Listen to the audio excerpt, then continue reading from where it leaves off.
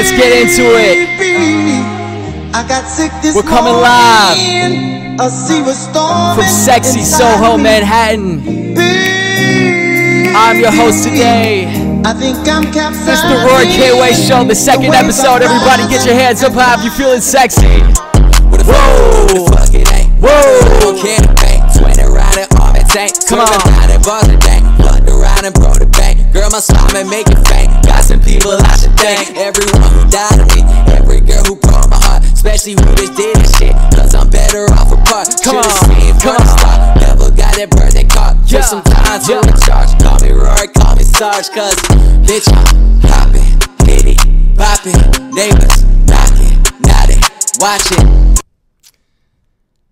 Welcome to the second episode of the Rory K. Way Show.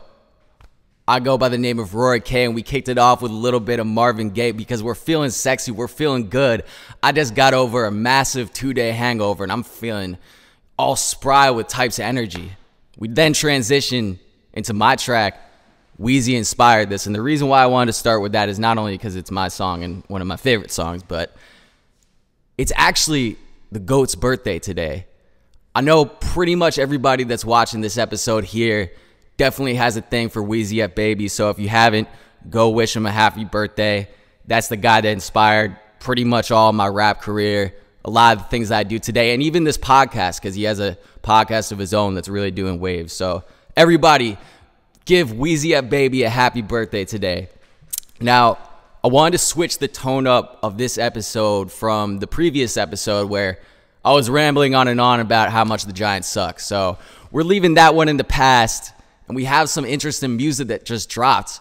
But I thought it would be a little bit more interesting and I could give you guys a little bit more value if I brought someone who's been making waves in the music industry for a very long time, someone who has carved out his own lane, someone who has really made an impact in the New York City scene in terms of the Irish rock music scene. He actually goes by Larry Kirwan, and he's actually my father. He is the lead singer and guitarist of the iconic band Black 47. He is a playwright, a songwriter, and he's a heck of a dad. Everybody make some noise for Larry Kirwan. Come on down, baby.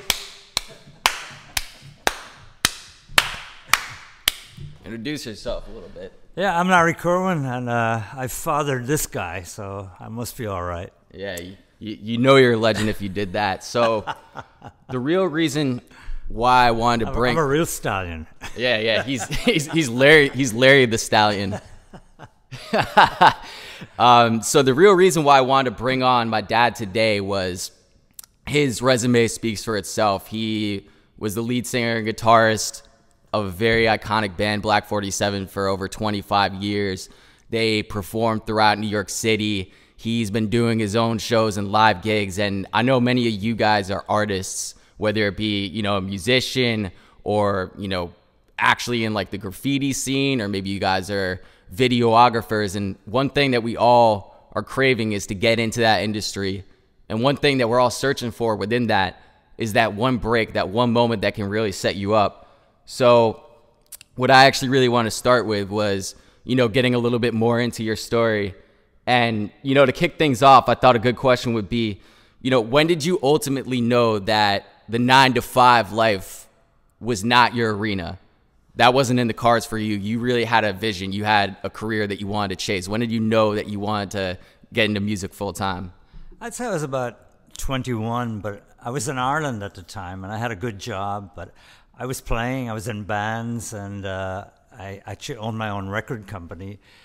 But I felt like I needed to broaden my whole experience, and I just hopped on a plane, got a student visa, came to New York, went to live on East 3rd Street in uh, around Avenue B back in the early 70s, and it was wild there. And as much as anything else, that uh, influenced me and gave me so much experience of life in a different form than it had been in Ireland. Um, so I'm still, in lots of ways, drawn on that. And I guess I was here three years illegally. I couldn't go back. uh, because I wouldn't have been allowed back into the country. And when I finally got documented, I went home to Ireland for a month's visit and realized I could never move back there, that I was addicted to New York City and came back, and I've been here ever since. So to follow up on that, you know, one of the things that was a little bit difficult for me when I started off as a musician was dealing with not so much backlash, but I'd say kind of like side eye views from maybe family members and friends. Did you deal with any of that when you were coming up, or how did you deal with that if so? I think I'm still dealing with it. it's that's something that never goes away because it, it it has to do with yourself that you have to feel like you've something to offer, but at the same time you you won't be getting a lot of acclaim early on, and by the time you do get it, it may not mean that much to you. But yeah, you know, your friends won't uh, at first acknowledge what you are, and then you'll lose some of the friends. Uh, but eventually, you'll find the, the path you want to be on, and it won't be easy. You gotta you gotta remember that that it's always a struggle to be an independent artist, and um, you know you gotta stick at it, and you gotta be prepared for poverty. That's one thing that's always going to be lurking on your shoulder that things can go wrong. It was easier in ways for me because back in the 70s, 80s, 90s even, it was easy to get an apartment for, you know, two, three hundred dollars and uh, live, you know, get a couple of gigs a week and you were doing okay. Now there's so much expectancy on you to come up with rent money and uh, for your family to see that you're a success. But there'll, there'll come times when you're face to face with failure and you have to deal with it. And that's when you find out whether you're really going to be an artist or not. And you know, to kind of piggyback off that question you had mentioned, kind of the the preparing for poverty aspect, was there ever one specific moment where you looked up? Maybe you're in a jail cell. Maybe you're. I think I, I think you can acclaim to that. Maybe you're, you know, in an apartment you hate living in. Was there ever one moment where you looked up and said, "Shit, I made a huge mistake. It's time to go back to accounting or that previous life"? No, but there'll be, no matter what happens, you're going to have dark nights of the soul. And there's one I remember, actually, now you bring it up. I was back in Ireland on vacation and uh, I had a record deal. The record deal fell through. My partnership with my friend was breaking up. And I remember thinking, man, I put so much into this. And now I'm faced with failure. And uh, it was a long night. And the following day, or two days later, I came back to New York and had to just start all over again. So you will meet those times, and uh, it's important that you hold yourself together at those times and uh, know that everyone uh, has those dark nights of the soul. And then to kind of flip it over on a more optimistic angle, at what moment did you look at yourself in the mirror and said, "Wow, I really created something meaningful. I've really come in and carved a lane for myself in the New York City scene. I am now an iconic voice. I'm now doing all the things that I love to do." Was there ever like that one moment? Yeah, if you're on a big TV show or something, you might look at yourself in the monitor. Which one? Oh, we run all of them on Letterman, Leno, O'Brien, MTV, Fallon, whatever. So, but the thing is, you're in such a kerfuffle at those times because you're just so busy. You don't really have time to stop back and think, you know, I'm making it or something. You're you're kind of like on the back of a stallion and you're holding on to it and you're jumping fences and you're trying to trying to maintain your equilibrium.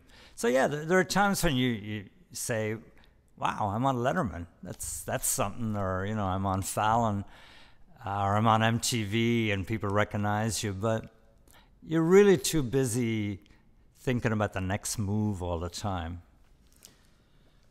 Yeah, and there's there's one thing as an artist that I've always kind of thought to myself is like I'd rather be hated by 50,000 people and loved by a thousand. I feel like that's how you really kind of become an icon. You really become someone who people are not a fan of, but they're actually support through the ups and downs.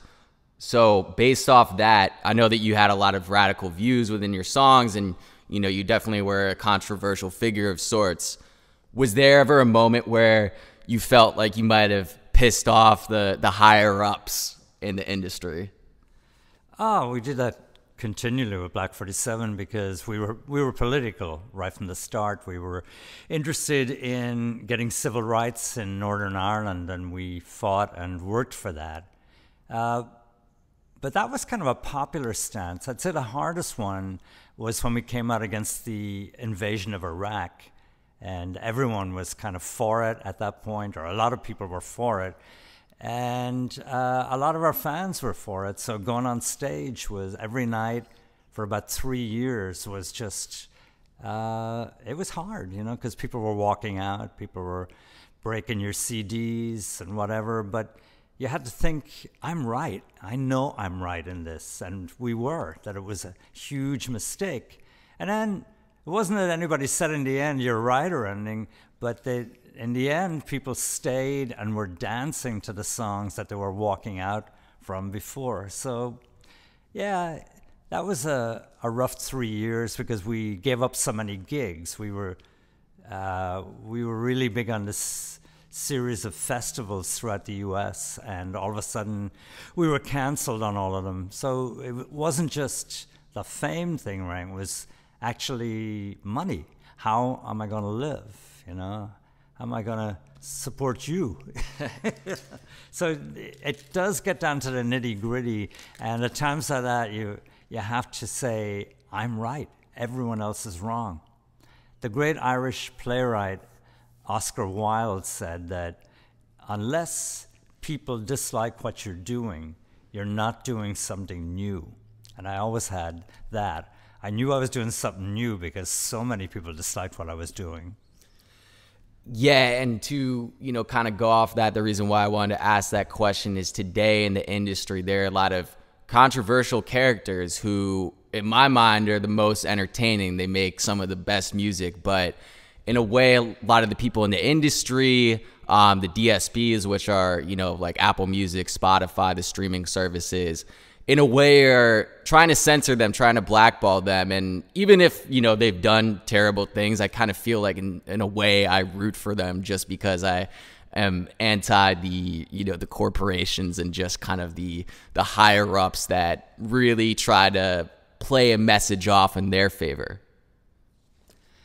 Well, most corporations are interested in making money. So I think you might be overestimating that. You know, the, as long as they're making money, they'll put up with pretty much any amount of controversy. Um, so I wouldn't worry about that. There'll be moments, you know, where you will have stepped beyond their bounds, but usually they catch up with you and are willing to go along with what you're doing, as long as you're making money for them. And there are a lot of good people in the um, music business. The music business gets a lot of slamming, but I can. I was with three different major record labels uh, over the years, and you know, there were a lot of people who didn't know what they were doing, but there were a lot of people within those labels, um, like Pete Ganbarg, who's one of the heads of Atlantic. Um, he signed Black 47 when people didn't want us to do, didn't want him to do it. Um, and they, they, stuck with us right through it. So there are the gems in the music business.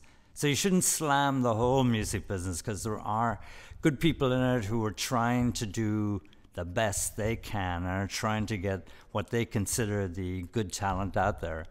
And controversy is just one thing, you know, it's just part of life in the business.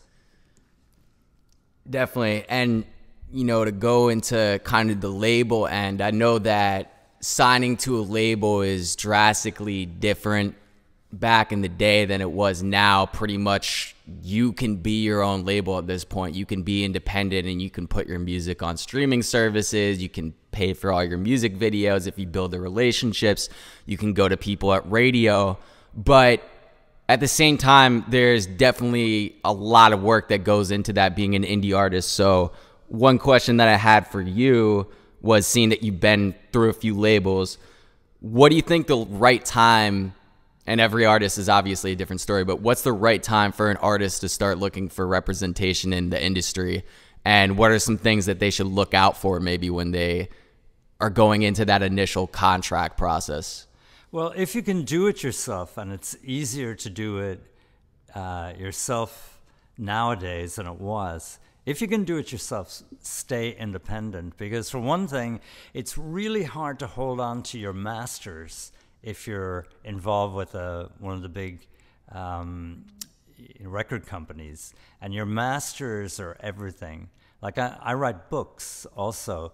Uh, in, uh, in the book publishing world, the publisher has to have your book out there you know on shelves in in stores and if not you can take it back from them so i have various books back when i made cds say for the big companies that was it. It's over. They own the cds from that point on. And why i would say hold on to your masters is because there's not that much money because of streaming anymore. Um, but where the money will be is, say, getting your songs in movies or getting them used in ads. And you can, if you own the masters, you get that money, not the record company. So, as much as you can, hold on to the primary source. Yeah, and one of the points I kind of wanted to make to build off that is one of my big regrets as a musician.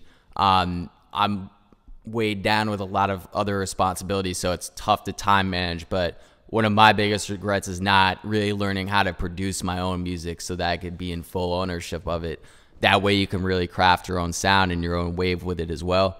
So I think my my advice, and I'm gonna let him kind of close things off with a little bit of advice. But if there are any younger artists out there, I would definitely advocate that you learn how to produce your own music learn how to mix and master it so you can save yourself money on not only like the studio time but also in terms of getting your masters when you're finding beats on YouTube or from whoever they're also licensing out those beats to several other artists so in terms of that ownership you're definitely putting yourself at risk there so that would be my kind of closing advice here but to give the man of the moment Mr. Larry Kirwan you know, last final statement, if you had any closing advice to an artist, you know, the one thing that they might not be thinking of right now that could really help them along the way, what would you say to them?